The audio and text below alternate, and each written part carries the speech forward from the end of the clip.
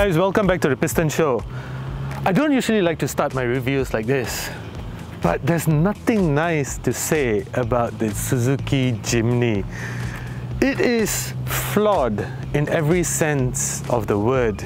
Uh, in modern times, it simply just does not add up because at just under 172,000 ringgit, it's expensive for such a small car.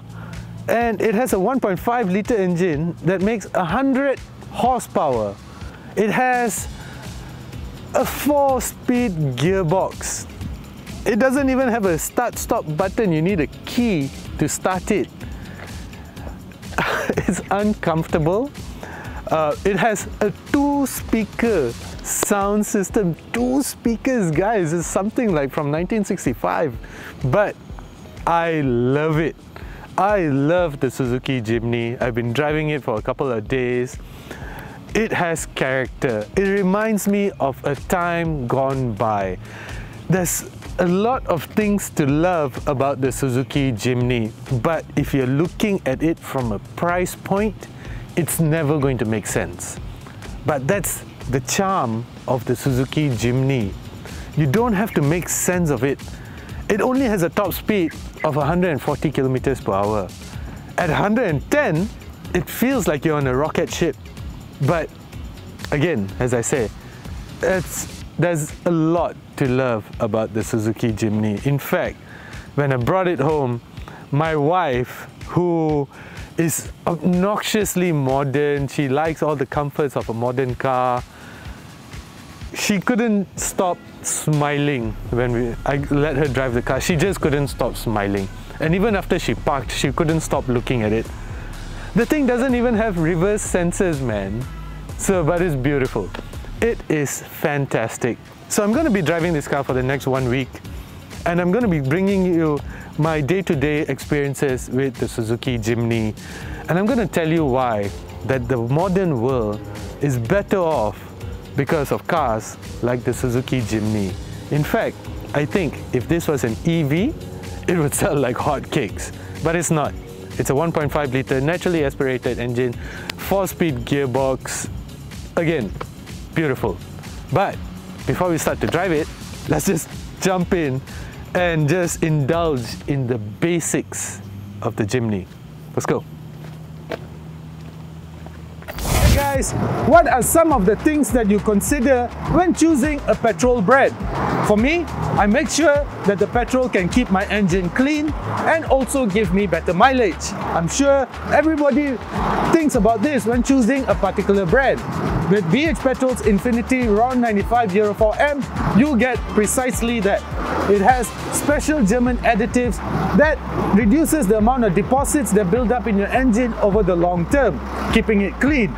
It also has improved friction modifiers that reduces the amount of friction that your engine has to go through, ultimately giving you better mileage and making BH Petrol's Infinity RON 95 Euro 04M the right choice.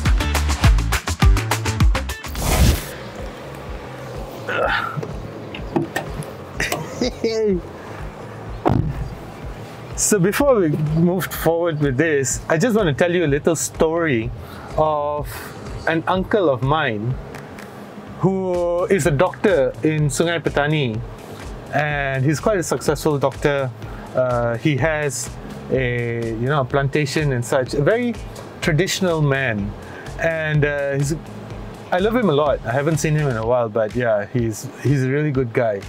Uh, so for many many years, he used to, you know, move between Sungai Petani and Kuala Katil, which is where his uh, uh, clinic used to be, and uh, he did so for many years. He did it in a Suzuki Jimny. And every time I see a Jimny, it reminds me of him. But his was, I think, the second generation model manual, back to basics, and an incredible car. So anyway, that's the, the, the joy of the Suzuki Jimny. You can use it day to day, just drive the hell out of it, practically bring it to the point of destruction, and it just will keep going. Anyway, this is the modern Suzuki Jimny. This is a fourth generation model, which was introduced, if I'm not mistaken, in 2018. Uh, the why are we only reviewing that it now? Because uh, the guys from Naza reached out. They said, "Would you like to drive the Jimny?" I jumped at it. Hell yeah! Who wouldn't want to drive a Jimny, man? And uh, this is the black edition. So the black edition gives you stuff like this, nice, you know, leather seats. It gives you a lot of stitching. There's some carbon fiber around the outside. It's just aesthetics. Everything else about the car remains the same. So in here, you get a single zone air conditioning. Um, you get, you know, stuff like uh, orange backlit dials, orange. Amazing. I'm just head over heels over this. This seven inch uh, touchscreen infotainment system over here. It comes with Apple CarPlay, Apple CarPlay, but it has two speakers. Brilliant. And it has those tiny uh, wipers. It, it just has you know, it has hill descent control. It has a single USB port. It has an auxiliary power unit, uh, traction control. It has this conventional four-wheel drive system, hydraulic. So I can't remember what you call this. Uh, anyway, I'm sure I'll think about it later. And despite it being so basic, it has cruise control. so it's a bit of an oxymoron here.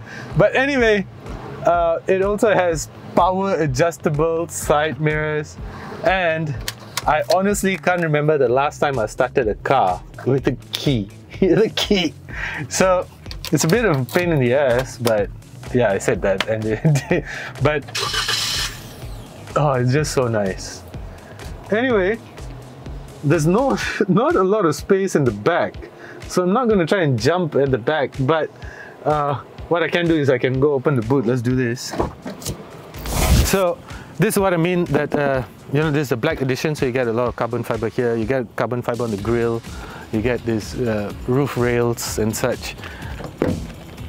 And it opens sideways like this. This fantastic. I could see myself driving this to, to, to Thailand, London, whatever. It's brilliant.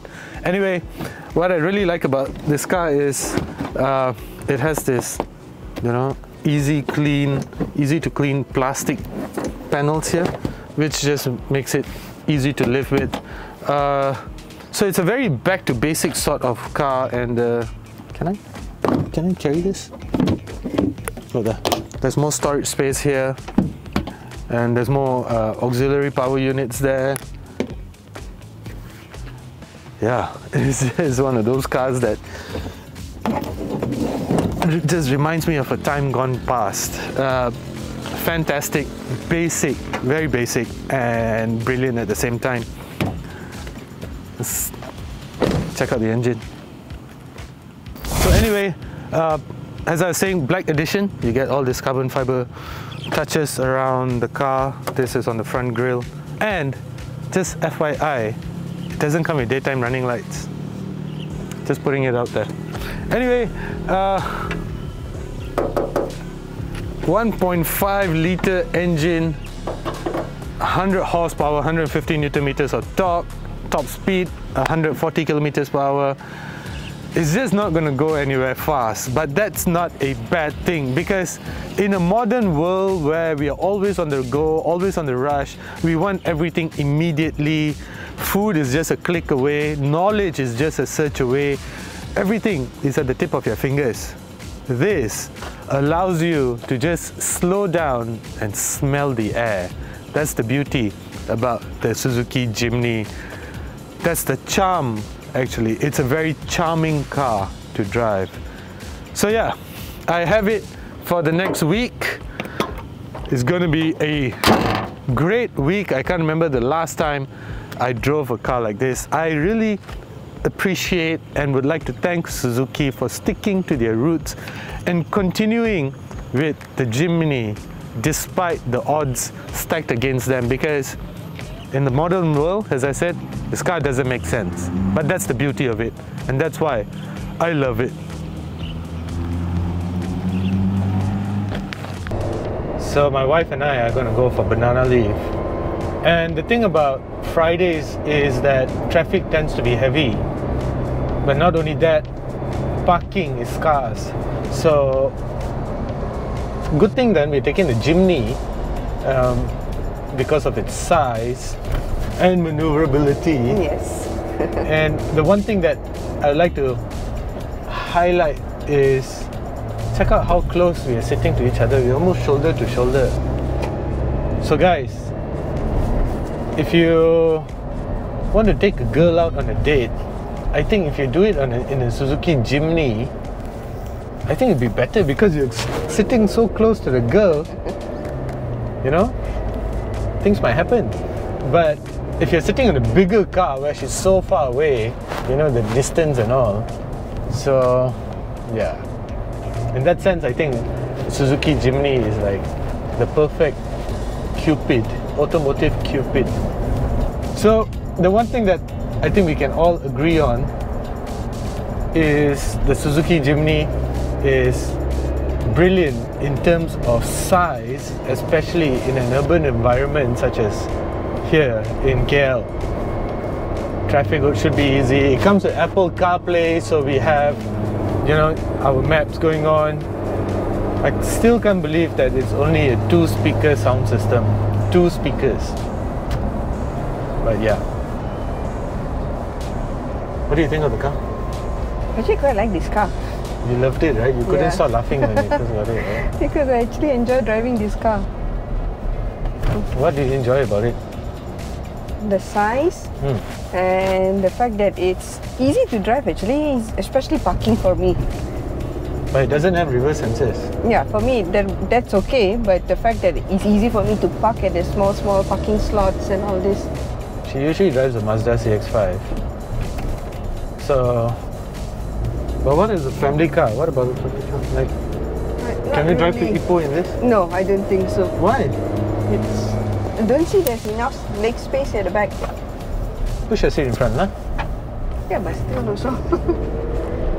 no, I don't think it's a. I think it's, a fun, Yeah. everyday car. I would go to on an adventure in it. I would drive it to that no doubt. Mai. Yeah, no doubt. You know, just needs a roof rack. Yeah. We put all, chuck all our luggage on top, and Yeah. then pray when it rains. you know, so I think that's that's the level of convenience that the Suzuki Jimny has to offer. You can use it on a day-to-day basis. You can use it on adventures. It's not very comfortable. It's not very fast, but that really doesn't matter, right? No, not at all.